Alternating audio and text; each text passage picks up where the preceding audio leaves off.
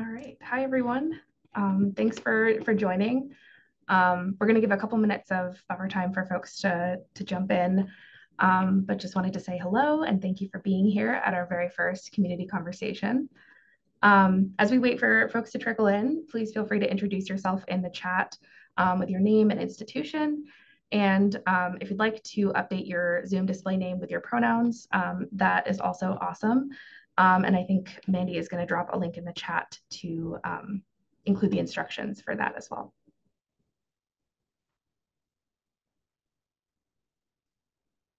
Awesome. Nice to see you all in the chat. Um, we are right at 102. Um, so let's go ahead and dive in. So first of all, thank you so much for joining us. This is our first community conversation. Um, and so we're, we're very excited um, to have you all here and ready to kind of chat with our contributors and each other. Um, I want to remind everyone that automatic captioning has been enabled and you can turn that on um, using the show captions button at the bottom of your screen. The beginning of today's session with the contributor presentation portion will be recorded. So that'll be available to you and we'll stop the recording before we jump into our group discussion. And before we dive in, we also wanted to provide some ground rules for this session. Um, so I'll run through these quickly and if you have um, suggestions or comments or questions, feel free to drop those in the chat.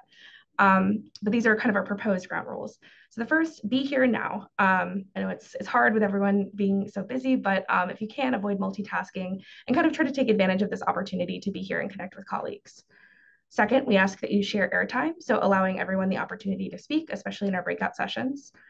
Third, foster mutual respect, use inclusive language, be mindful of power dynamics, social, professional, or otherwise, and how those might impact the conversation. And lastly, all ideas and questions welcome. We really want this to be a learning space, and that is a vulnerable process. So we ask that you assume others' positive intent and approach conversations with curiosity and openness. And lastly, before we dive into the good stuff, I'll just give a quick rundown of our agenda today. So we've got our welcome and introduction, which we're just about done with. And then we'll dive into our contributor panel. So we'll hear about OER adoption from Theresa Dooley, open pedagogy from Elaine Kaye, Nicole Wilson, and Liz um, Chenevey, and um, open publishing from Anita Walz. And then from the um, about the halfway mark, uh, we'll jump into breakout rooms and small group discussions. And we'll be dividing folks up by institution size. Um, and we'll give you some more details on that kind of as we get closer to that portion. And then we'll come back for a community debrief and closing remarks at the end. All right, so without further ado, um, oh, just kidding, sorry. Um, we are gonna start off um, just to kind of get your uh, brains working with a quick Menti prompt um, slash question. So Mandy's gonna drop the link in the chat um, to participate in the Menti and I will switch over our screens here. So we've got two questions for you. The first one is what is one area of your OER program that you'd most like to grow?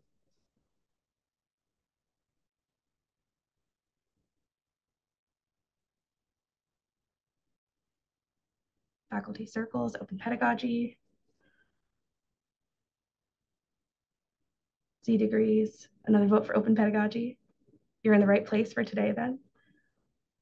Outreach, assessment, department level PD for faculty, just to get started, absolutely. Visibility, student written OER, ancillary materials,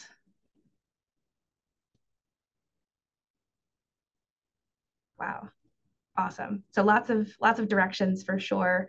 Um, and hopefully this uh, presentation today will give you some ideas for ways to move forward and to start to grow and scale. So thank you for that. Our second question um, is a multiple choice question. Um, oh, and the question text uh, is not showing up on the slide. I'm sorry about that. Um, so the question is, um, what uh, are, are the sort of the biggest barriers or challenges um, to growing your program? So what's holding you back at this moment? Faculty readiness or bandwidth time funding. Lots of votes for faculty readiness. Oh, we have a clear leader. I wasn't expecting that.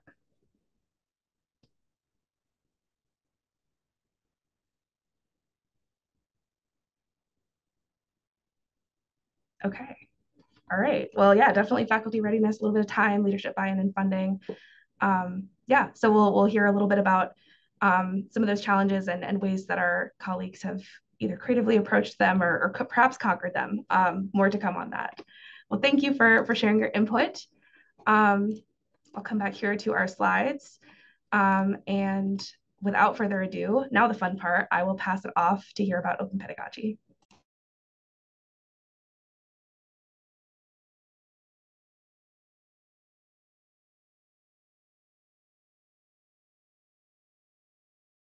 Sorry, that's us. I, did, I didn't realize we were going first. Thought we were second. All right.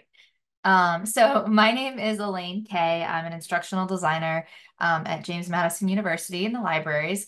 And I have two other colleagues that um, we're presenting together today. So I don't know, Liz and Nicole, do you want to go ahead and introduce yourselves? Sure. I'm Liz Chenevey. I'm um, a librarian at, JM at JMU. I'm the Health and Behavioral Studies librarian. And I'm Nicole Wilson. I'm also an instructional designer at JMU in the libraries. Um, okay, so in our time, we're sharing a bit about a fellowship that we uh, designed and implemented and how we think about scaling the work of open pedagogy and professional development for faculty. Um, so at our institution, the JMU Libraries houses not only all of the traditional library services, but it also includes a unit which supports academic technologies and instructional design. The creation of the Opening Up Fellowship is an example of how this cross-disciplinary work um, is made possible because of our organizational structure um, and the fact that it's also part of a multifaceted uh, approach on our campus to create a culture of open that embraces relationships between open access, open educational resources, and open pedagogy. So the open educational librarian um, in our libraries, her name is Liz Thompson. She may be here today. Um, I'm not sure. But she convenes and leads a working group of library, oh, there she is, libraries, faculty, and staff who engage in various aspects of this open work in an effort to have a more robust and holistic approach to open. Um, so we share that part of the story um, to get at our first bullet point on the slide, which is building diverse and collaborative partnerships. Um, building partnerships in our experience is critical when you're scaling or even developing faculty support. Um, we encourage you to imagine a group of folks, maybe from different parts of the university that you normally work with, to become your partners in this work. Uh, think about how this collaboration might help you diversify options for funding um, to support faculty as they're developing their open projects. Um, what are some grant opportunities that you might be able to find by having diverse collaborators um, to access uh, by framing the work of open pedagogy as curriculum development, course development, and faculty professional development. Um, so really, because we have that built into our institution, finding those spaces that you can have those partners to give you sort of a diverse and different spin on the programs you're trying to implement while it's still the same content. So, and I'm going to pass it on to Liz to give a little more info. Yeah, so I'm going to talk a little bit about the fellowship. So we designed a fellowship for faculty to engage in um, and learn about open pedagogy and create some open pedagogy um, assignments and uh, kind of weave it into some of their courses. And so our intention was to create a fellowship model that centered community building and was intentionally and flexibly designed to be a slow-paced and supportive environment that fostered curiosity, exploration, and growth. Um, this type of learning space allowed faculty participants to explore information literacy concepts, open pedagogy frameworks, and instructional design principles in an intellectually challenging way that included a deep reflection and a lot of community engagement.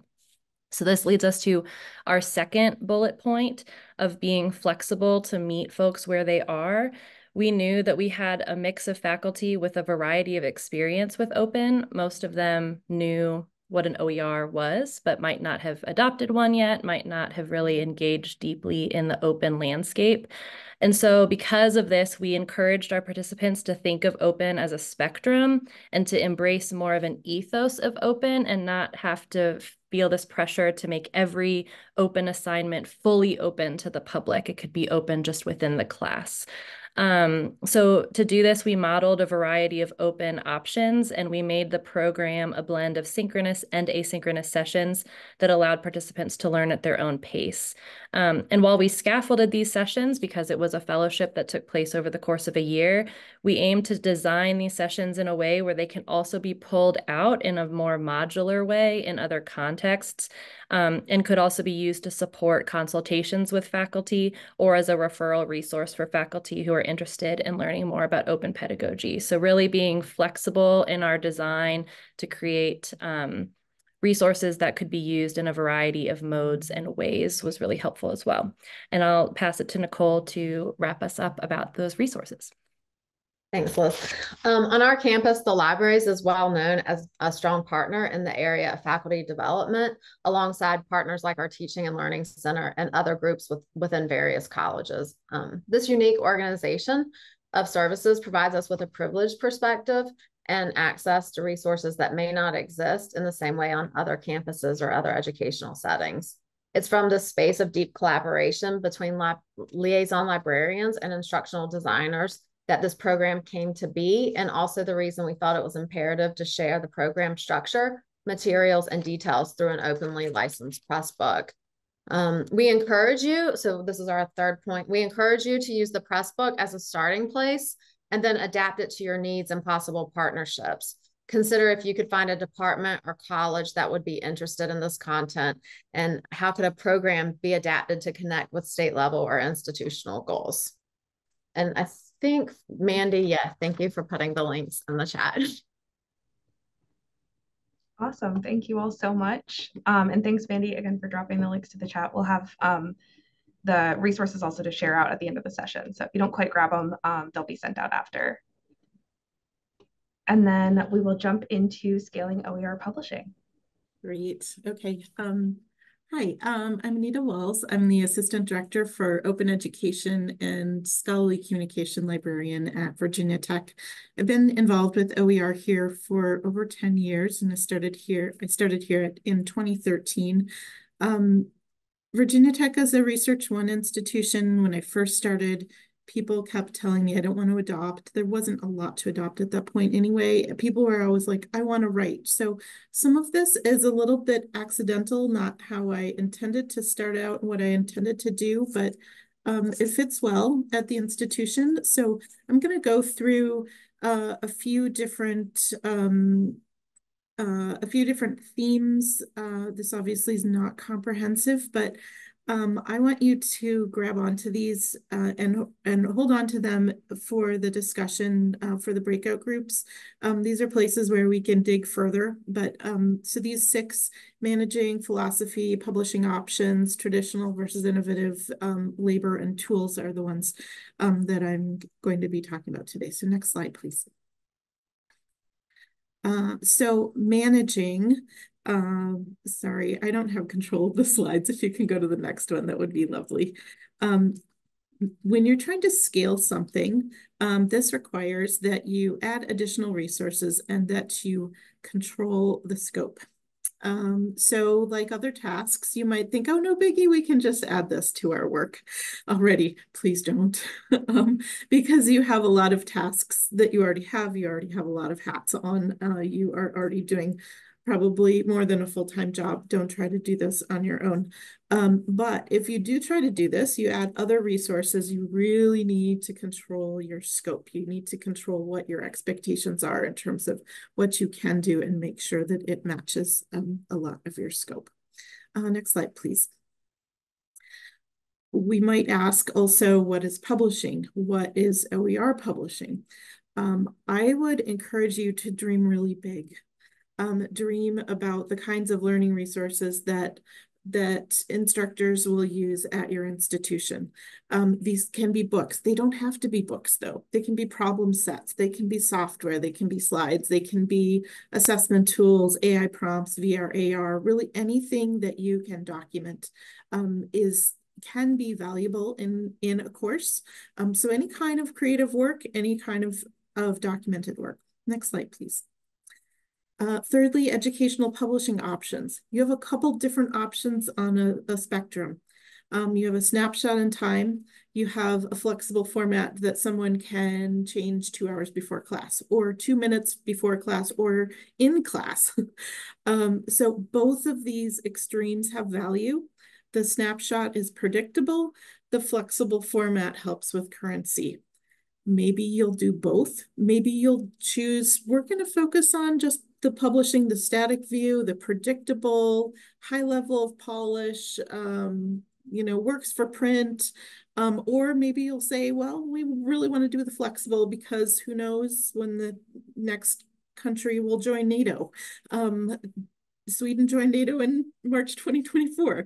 Uh, is that reflected in any of the major course materials? So um, teaching happens if you teach, you know it happens on your toes. Uh, you know that uh, there are a lot of things that you decide as you're, as you're teaching about what works and what doesn't work. Um, so think about these two, two um, ends of the spectrum uh, and maybe, maybe you'll end up doing both. Uh, next slide, please there's a, another kind of dichotomy, and none of these are really uh, true dichotomy, uh, but differentiating really the traditional versus a really innovative um, publishing workflow. Uh, so some some folks will will describe a um, publishing workflow as we did it, it's done, uh, we're going to put it behind us. Um, others will say, okay, we're designing this to be repeated because we know that we or someone else will want to make another version. So with OER, source files are really valuable. Um, we designed for repetition, for, for new versions, for um, remixed versions. Um, different than traditional publishing, um, authors who have less experience need more support. Um, that, that is a pretty straightforward um, um, pretty pretty easy to understand, but difficult to know what to do. Um, and then I would also argue that that OER requires a lot more design, um, a lot more um, multi um, different ways of viewing things than uh, traditionally published work, which might be some text and some pictures, but less uh, figures that are reinforcing concepts for specifically for learning. So I show two different workflows. One is very linear, the other one is chunky and it's kind of a mess and it has um, design all over the place. It has project management even before and after the end of a, a creation project. Um, so lots of different steps here, things going on at the same time. Um, but can be it can be really valuable to think about um, how these may be different. Uh, next slide, please. Uh, okay, let's talk about labor because we know that books do not write themselves, videos do not create themselves. Um, we have in our group um, just two FTE, um, which I know for some people is like, wow, you have that. That's really great. Um, it is really great. Uh, and um, we look for people who are reliable, who are team oriented, who are efficient, who have really strong problem solving skills. Um, we used to work with Virginia Tech Publishing. They coordinate, um, have coordinated copy editing and layout, but there were some projects they wouldn't support that we wanted to do. So we developed our own publishing capacities. And um, right now we're, we're kind of at a, um, at a crossroads. We'll see what happens in the future. Um, so that is a is potentially a support for us. Um, it does add some complexity though. Um, next slide, please. And then tools of publishing. Um, I've included a link here for lots of different things you are welcome to um, to take a look at. Uh, there's there are um, not in this link, but there are platforms um, because every kind of information needs to be in some kind of container. Um, there are project process and project management checklists, um, templates for agreements, um, different kinds of tools for reviewing course materials, um, lots of different strategies for, for people and process management. Um, most of them things we've developed ground up. so uh, just as a, a, last slide, also next slide, please. Um, you can do this. Um, we have created lots of different things over the last um, eight or so years, and um, some of them are things that were uh, like our, our very first book was in Microsoft Word. like not great, don't recommend it, but it was a start, right? So um, this is years of learning, of trying to understand how to best do this work, how to do it in a way that is um, that's equitable, that is interesting, that does support our faculty, um, especially if they are not quite ready for this. Um, just trying to trying to get people to the finish line is is really um, one of the things that we we try to do. Doesn't always work, but it's what we try to do. So um, thanks for your time today, and I look forward to the discussion sessions. Wonderful, thank you. Um, and I um, will reintroduce Theresa. This is, I'll, I'll chalk it up to, to growing pains of a new event format. Um, so sorry about that. I um, I skipped right on over uh, Theresa's time because um, there weren't slides. So um, I'm gonna just quickly scroll back to where we have her name and position, and I will hand it over to Theresa. My apologies for the the mix up there. No problem. Thank you so much, Abby. Um, my name is Theresa Dooley. I am the Student Success and Open Education Librarian at the University of Massachusetts in Amherst. Um, I've been a librarian here at UMass since 2022, um, but in my past life, I worked in journal publishing as a managing editor, um, which I always think is important to share people share with people when I'm talking about how to do this work because I want to be very transparent that I have 10 years of experience before coming here to talk about OER. Um, so I didn't just show up and dive into OER. Um, so first and foremost, I want to talk about what is OER adoption, right? Um, and in a nutshell, um, it's going to mean finding openly licensed materials that can be used as they currently stand um, in a course. Um, that can be an open textbook. It's what, often what we consider, um, but can also include um, a syllabus or assignments, test banks, um, a data set, open access articles, um, or even content that's in the public domain. so there's a lot of different ways for us to think of OER. and I just like to kind of make, again, make sure that that's front and center. Um, so here at UMass Amherst, we have an established uh, open education grant incentive program.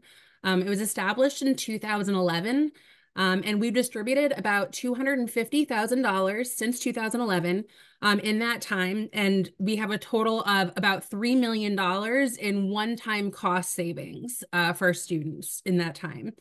Um, but it's always important to note that the average grant size that we've awarded is only $2,000. And I know that 2000 is a lot for people who don't have money, but keep in mind that our normal grants are not 10, 15, $20,000. Um, so again, like to make sure people know, think about that. Um, so when I talk about OER adoption, I think that people often think of it as the easy lift, um, or you know the the way to get the foot in the door and it is um, but i always like to make sure um, speaking about our grant program when i'm talking to faculty and we're trying to build budgets what I try to explain to them is that they are worthy of incentives. um, and that even if we can do the searching for them and we can like we can do the work and they don't need to put in any extra cost, um, and historically, we've given faculty $500 for just looking and finding an existing OER that they can use in their classes. Um, previous feedback from the last couple years is telling us that $500 isn't enough to do that. Um, so I'm continuing to make the case to increase that. In next year's grant cycle, I hope to award them $1,000 for adoption. Um, but again, uh, it all kind of speaks to data points, which I'll talk about in the next, uh, in, in later on in my uh, conversation. Um, so again, thinking about all of that and reminding people that even if they're working with the libraries and campus and, and the campus resources, and um, they don't have money to spend on OER, reminding ourselves, our administrators and our faculty that even if it falls in their job description that they should be revising their course materials, um, we still want to help them out because we're asking quite a bit of them. Um, which brings me to my next point. When you're building or scaling or sustaining an OER program, you really have to know and understand where faculty are coming from. Um, if they're a new faculty member, they're overwhelmed. Um, you know, they have the ideals um, versus the realities of teaching. It's scary. Um, and if they're an established faculty member, chances are that they know the materials that they're using and their courses are designed around them. Um, oftentimes they have long-term relationships with publishers that are not evil. They're helpful, helpful and mutually beneficial. Um, publishers are able to provide really fantastic editorial technology support, um, automatic grading, which is an absolutely must have when you're working with a physics professor who has a thousand students every semester. Um, so really thinking about what their teaching goals are and why they're using the materials that they're using before you go in and try to sell something else is just essential. Um, and I, and it, and that for that to happen you just you need to be talking to faculty. You need to be engaged in your campus. You need to be a part of faculty groups. Um, and i know i'll talk about this in the breakout room hopefully but one of the things that i'm hoping to do because again we've got people who've been winning awards through our program since 2011 and every time they accept the award they basically commit to being future reviewers and to be community activists basically for oer um, and historically, I have not been tapping into that. So again, I'm still new, trying not to, I can't do everything. Um, so that's one of the ways that I really hope to be expanding um, to continue helping OER adoption. Um, because the important part here is that we as individuals cannot do everything.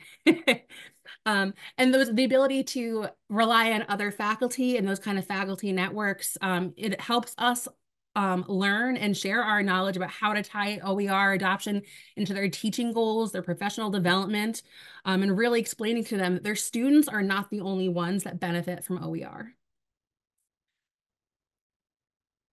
So the next point I really want to make sure we touch on is to build your team. um, and I know that's hard because I know I am, I think, the only person um, in the entire University of Massachusetts Amherst that has OER written into my job description. Um, so I encourage you to collaborate whenever and however possible. Um, I'm very lucky here at UMass. I have the ability to collaborate with liaison librarians and selectors so I can understand subject topic, subject specific topics. Um, they help me with generate with they help me generate um, alternate alternative search terms when I'm doing searches. Um, it makes they again they know all they know very industry specific resources that might not be billed as an OER that are OER.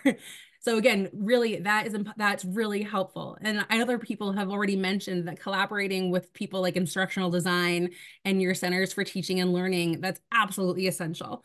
Um, but I would take that a step further and even collaborate with student groups. Um, here in Massachusetts, again, I know that we're really a step ahead. We have a group called MassPIRG, um, which is the Massachusetts Public Interest Research Group. And I know I'm from New York and New York also has their version of it. So I don't know if every state has that. Um, but their one of their tenants is textbook affordability. So I work with them a lot in promotion and outreach. And what I always say is like they can talk to their faculty, they can talk to their administrators, but most importantly is that our students are the future researchers and teachers and practitioners in the world. They're only students for what between four, maybe eight years. Um, and then they're like, they're the ones that can take this and really bring it forward. So don't under don't discount working with student groups. Um, and then finally, my next point is that everything is a data point, whether you are getting just starting out um, or you're trying to scale a program and expand it, um, keep track of everything. Um, it's how many people attend every workshop, how many people are enrolled in classes before OER adoption and then after OER adoption, track those grades over time. Um, it's all important. Um, and we are constantly going to need to validate our existence and really tell the story about why this work matters.